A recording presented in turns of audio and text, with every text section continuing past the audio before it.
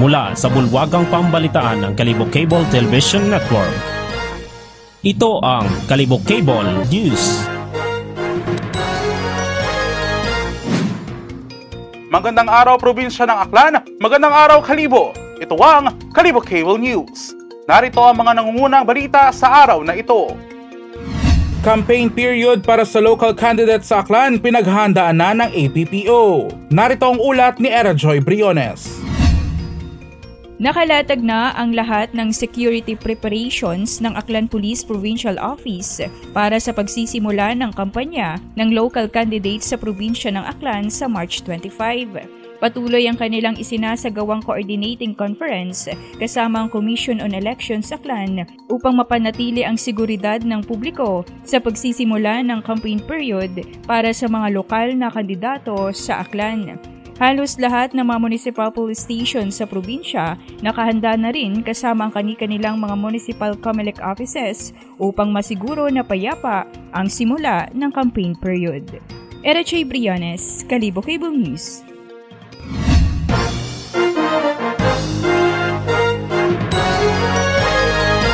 Phase 1 ng Tangalan Public Market Building pinasinayaan na. Narito ang ulat ni Rio Traico.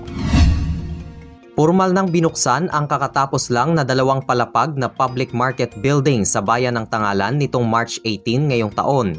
Ang proyekto ay Phase 1 ng pagsasaayos ng pampublikong pamilihan sa nasabing bayan kung saan layunin itong gawing moderno at malinis ang lugar para sa mga mamimili sa isinagawang blessing at inauguration, dumalo ang ilang mga opisyal ng probinsya na tumulong para isulong ang naturang proyekto. Present din si Tangalan Mayor Gary Fuentes, Vice Mayor Jean Fuentes, mga opisyal at empleyado ng lokal na pamahalaan at iba pang mga panauhin. Rio Trico, Kalibo Cable News.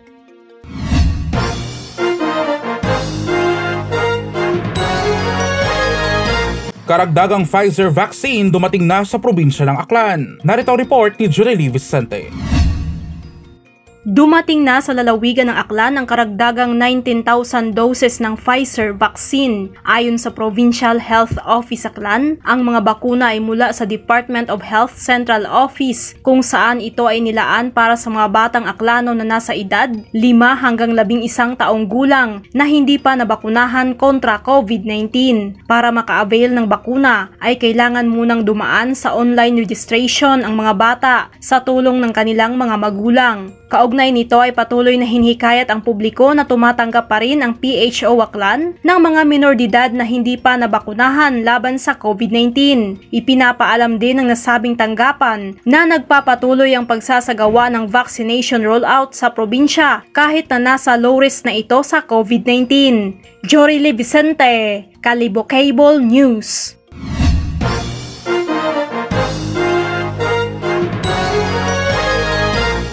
Epekto ng pagtaas ng presyo ng petrolyo ramdam na ng mga tricycle drivers sa Kalibo.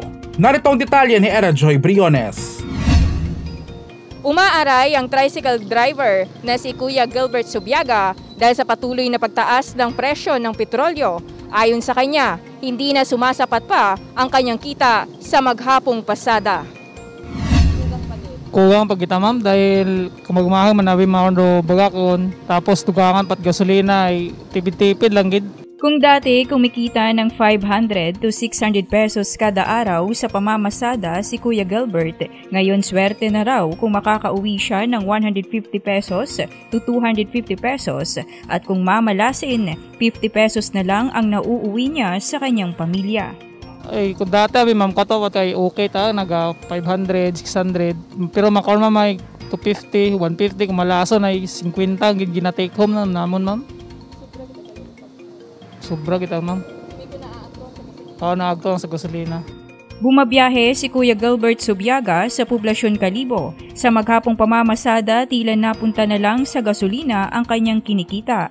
Giit niya halos 4 hanggang 5 litro ang kanyang nauubos na gasolina sa poblasyon Kalimo ma'am ga tiyog-tiyog kaya kam, apektado kaming maya dahil wa kami na parkingan sige lang among tiyog kay kung amat malasa na iwagit pasahero ay nagaagto sa gasolina ro among naginakita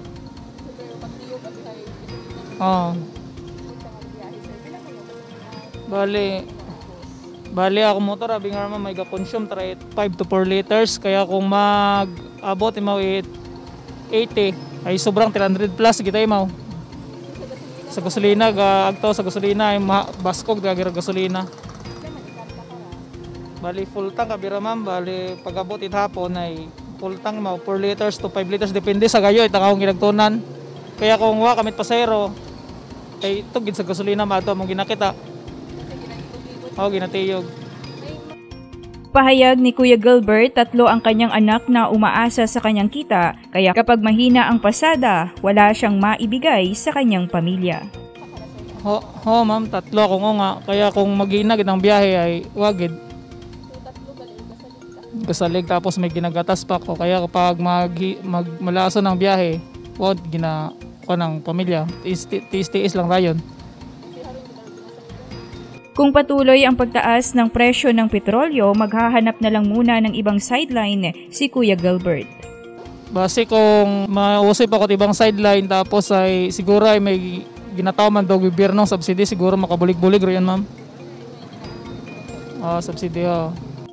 Sa ngayon, nasa apat lang na pasahero ang sakay ni Kuya Gilbert Subiaga. Giit niya mahal na nga ang gasolina, konti pa ang pasahero take up. At yung ma'am dahil do iba manabi kung may sugod ko niya nga ano nga pasayro was nagasakay dahil na pa-practice siguro na social distancing man. Awa ma'am mahina gid mahina pag idur pasayro makara mahina mahina gasolina. Gabi kami gid apektado gid kami nga mayad Mula dito sa bayan ng Kalibo, Era J. Briones, Kalibo Cable News.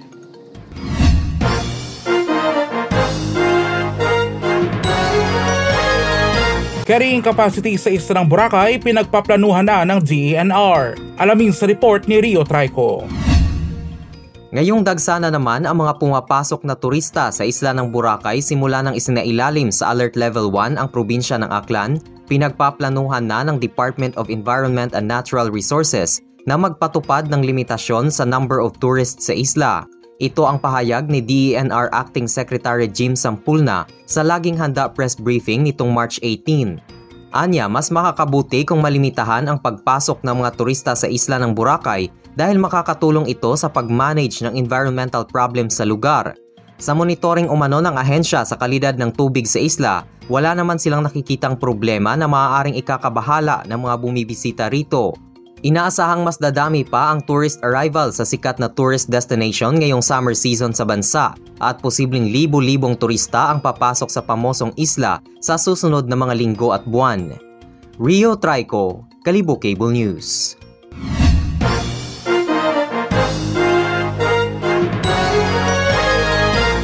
Mga paaralang gustong magsagawa ng limited face-to-face classes sa probinsya ng Aklan, mas dumami. May report sa Era Joy Briones. Nadagdagan ang bilang ng mga paaralan sa probinsya ng Aklan na nagpasa ng aplikasyon upang makapagsagawa ng limited face-to-face classes.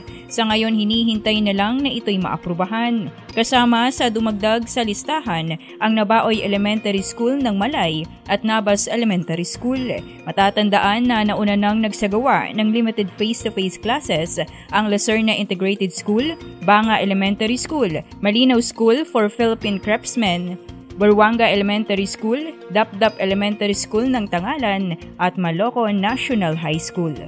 RJ Briones, Kalibo Cable News.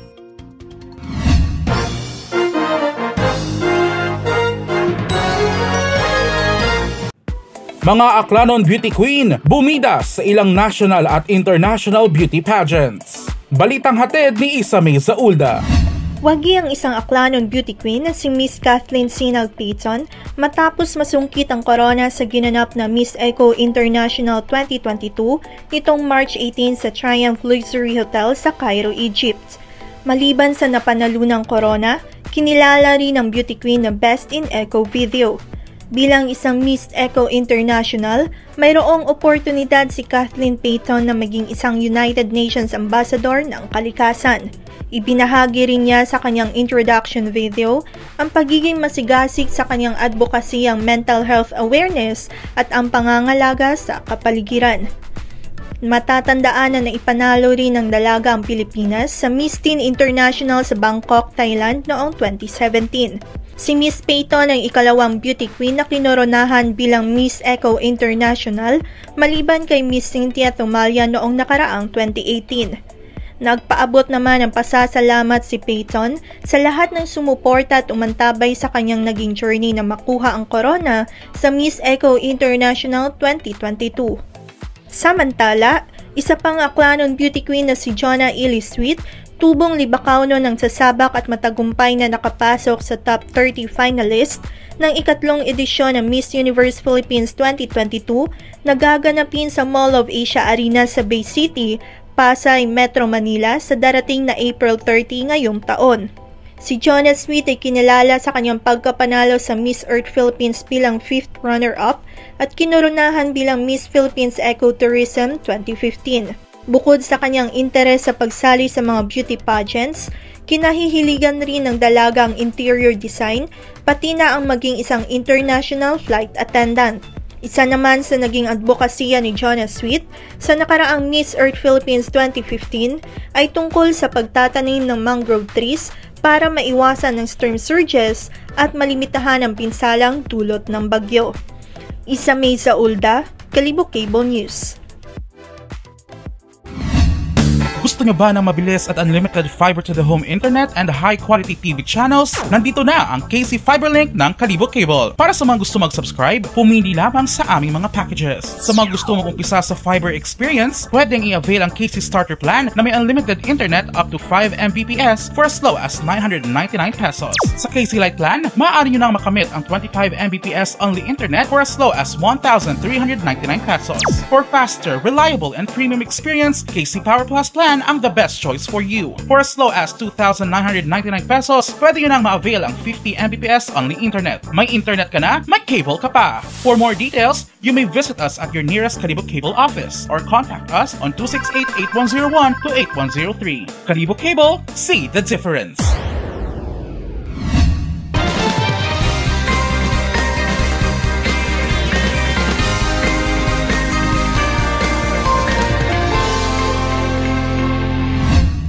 Mayong adlaw sa tanan na mo ang aton latest weather update subong nga adlaw Monday, March 21, year 2022. Sa karon wala kita sa may gina-monitor nga any low pressure area sa sulod kag sagwa sa aton Philippine Area of Responsibility. Samtang easterlies naman ang nagaepekto sa Central and Southern Luzon, Visayas kag Mindanao. Bangod sining sistema dili sa aton sa Western Visayas, generally fair weather kita. Mayar lang kung kaisa sang partly magalumon tubtob magalumon nga kalangitan nga may mga isolated nga pagulan-ulan o kung pagpang pangilat kag pagpanagoob, labi na sa hapon o kon sa kagabihon, dala sining easterlies kag localized thunderstorm. Ina tubtob kasarangan ng hangin alin na sidlangan paamiya na sidlangan ang magapangibabaw sa Western Visayas kag magadala sa mga makanay tubtob kasarangan nga mga pagbalod sa kadagatan. Para sa aton forecast range of temperature, generally ang Western Visayas yara sa 26 to 32 degrees Celsius. Ang aton maximum heat index generally posible magalabot sa 39 degrees Celsius. Under ni siya sa kategory sang extreme caution nga posible magadala sang heat cramps, heat exhaustion, kag heat stroke. Ginaabisuan ng tanan nga mag-inom sa madamang nga tubig, magsuksok sang lightweight kag light-colored clothing, kag di-minimize ang pagbulag sa adlaw as much as possible. Ang aton adlaw magatunod karon alas 6 sa hapon kag magabutlak kini siya alas 5:53 buwas sa aga. Pagamuni ang aton latest weather update sa subong nga adlaw. Para sa mga dugang impormasyon, bisita lang ang aton official website sa www.bagongdat.pagasa.dost.gov.ph kag sa iba naton nga mga social media account. Alindi sa Iloilo Doppler Radar Station, Visayas Pag-asa DOST, ako si Rolly Cuenca, bayang adlaw sa tanan.